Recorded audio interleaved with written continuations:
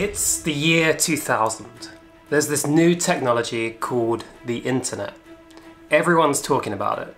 You get into a taxi and the taxi driver says to you, wow, I've just made so much money on the stock market right now. All of these dot-com companies, they're guaranteed to make you money. You don't think much about it. A few days later, your barber, while you're getting your haircut, says to you, wow, did you see this? Pets.com has just gone through the roof. I'm making so much money on the stock market. Suddenly, you start thinking, I need to get in on this. See, everyone's getting rich and I'm here like an idiot not getting rich. So you go home and start looking, how can I make money from this? How can I put my money into the stock market and make those gains? Because markets always go up. So finally, after everyone else, you pull the trigger, you put your money in, and this happens. And it's gone. Uh, what? It's gone. It's all gone. It's described as nothing short of breathtaking, a points drop never before seen on the US markets.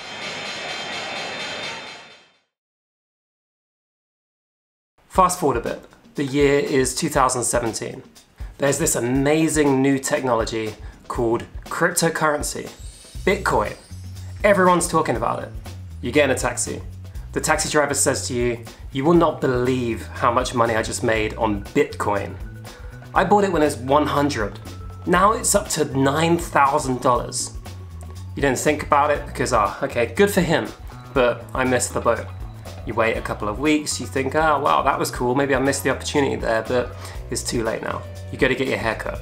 You go to a barber's. And the barber says to you, have you seen this Bitcoin? Like, I only heard about it recently when it was $9,000, but I jumped in and now it's up to $15,000. I've just doubled my money in a couple weeks. Suddenly you start thinking, is this a new paradigm? Am I on the outskirts here? Why aren't I getting in this? Why don't I just jump in right now? Surely this is this is a new technology. It's got to go up. Everything's going towards Bitcoin. And then this happens. What's all gone? The money in your account. It didn't do too well. It's gone. What do you mean? I, I have a hundred dollars. Not anymore. You don't. Poof. Bitcoin is continuing to tumble. It is now on track for its worst week in four years as it sheds thousands of dollars in value in, well, just a matter of hours.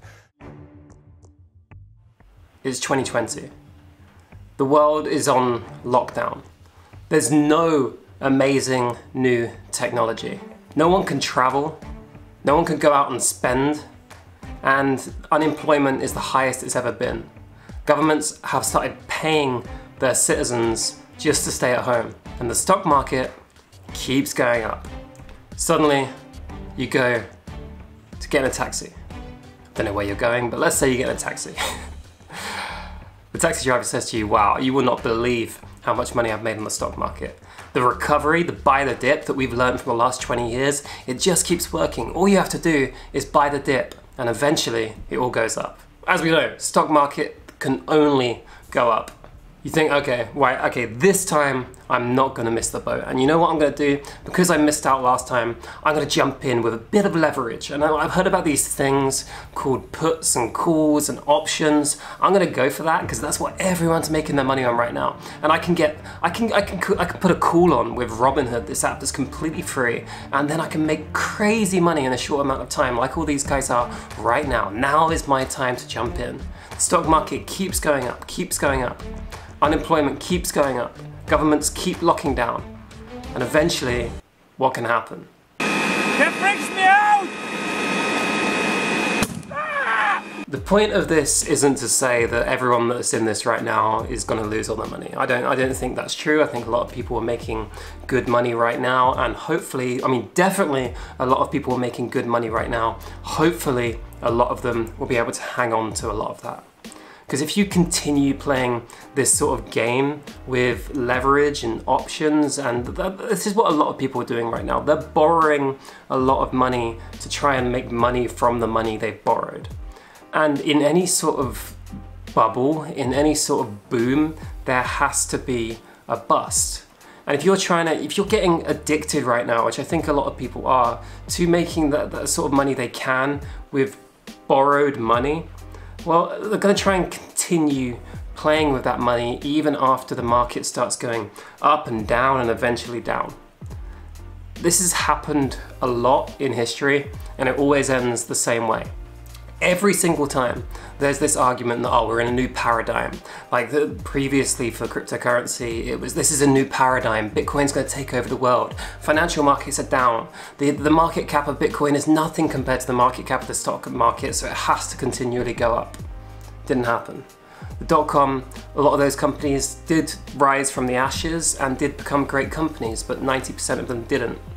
And now, right now, the new paradigm is governments are pumping money into the stock market. The Fed in the US just keeps putting another 750 trillion or whatever into the stock market so it can't go down. There's always some sort of argument that this is the new paradigm and stock markets or any market can only go up.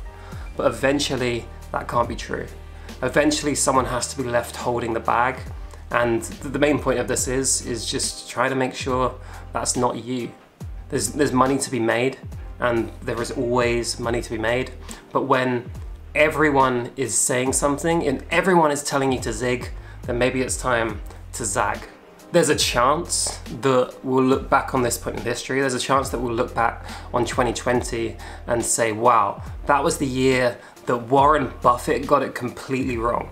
That was the year that top market analysts and Wall Street were all wrong. And that was the year that Robinhood traders and every normal person that just wanted to dabble in the stock market got it right and everyone just made a killing and the whole dynamic, the whole paradigm shifted. It seems unlikely. It seems a lot more likely that Buffett, the experts, and everyone that you should be listening to is right. And people like Dave Portnoy, who's a great content creator by the way, like he, he's actually really funny to watch and you should go check him out because why not? And Wall Street Bets on Reddit, there's a good chance that over time those people will be wrong. The people on the internet who is debating who the better investor is right now, myself or Warren Buffett, it's no debate. I mean, it's no debate. I killed him. He's dead. I'm not saying this to fearmonger. I still have money in the stock market. I still have money in gold.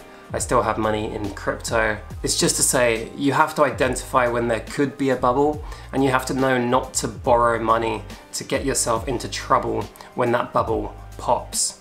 You don't want to be the person left holding the bag while it goes down 90% or 50% or whatever it does and takes 10, 20 years to reach those all-time highs again.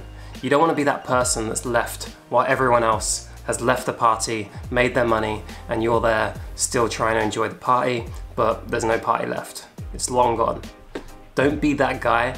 Make the money in the short term if you can, but think about what you want to do with that for the long term.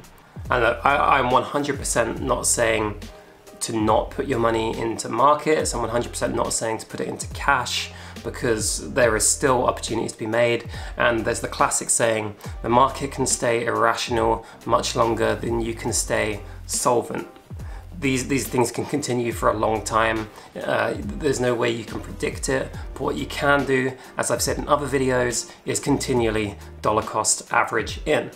And if you're doing that, you're always getting the average price, markets always go up in the long term, even if it's the very, very long term. Um, but if you're always dollar cost averaging in into any asset, then you'll get the long-term returns. That's it. I wanted to say my piece. Uh, maybe we'll look back on this in a year and think, wow, I got it completely wrong. The stock market only goes up. All hail Dave Portnoy, our new billionaire investor guru.